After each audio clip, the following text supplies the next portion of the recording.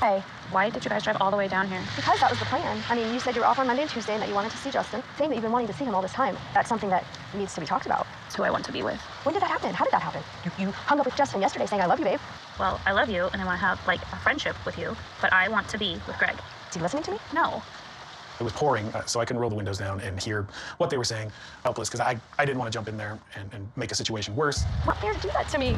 I've always loved Greg. You guys know that. No, you did not. You told us you don't love him sexually at all when we first started the relationship. We want in January when you broke up with us then. Greg and I have been on and off. So did you have sex with him before you had sex with Justin? That is none of your business. I just need to know so I need to go tested now because of you. You know what's so crazy?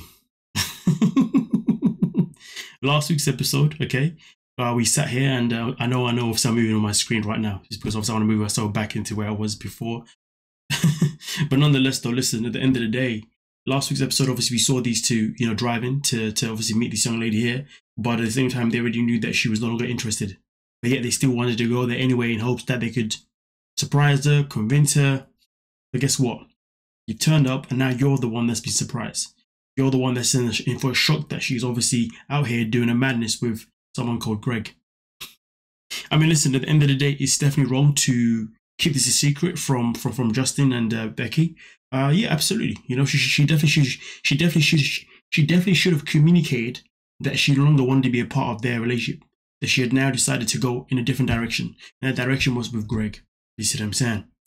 Now, obviously, maybe there's a reason why she didn't want to communicate that. Maybe she was afraid of the reaction. So maybe she thought that if she said nothing, that they them two would, would get the picture and just leave her alone. But clearly, that's not what's happened. They've turned up.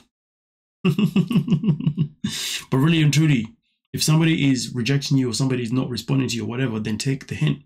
You can't force something that isn't there. And this is exactly what has happened here.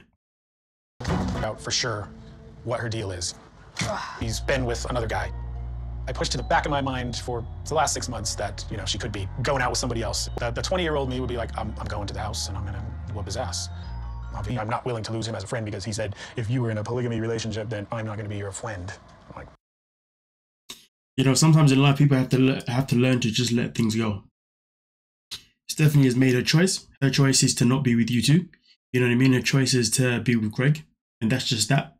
Now, obviously, Stephanie probably did wrong in terms of, or by the sounds of it, she was cheating this whole time, and she obviously wasn't honest about her obviously her intentions. She wasn't honest about obviously what she does, obviously when she's not with them, which is obviously not a good thing at all. Obviously, Stephanie definitely has played her part in an incorrect manner, which obviously hasn't helped the situation. But at the same time, Justin and Becky can't be just driving to a whole other state or wherever the hell they drive to to, you know, to try and get an answer from somebody that's been ignoring them because that is just creepy and crazy. but nonetheless, though, let me know your thoughts and your opinions on the matter. And we can most certainly talk about it. Don't forget to like, subscribe, and of course, peace.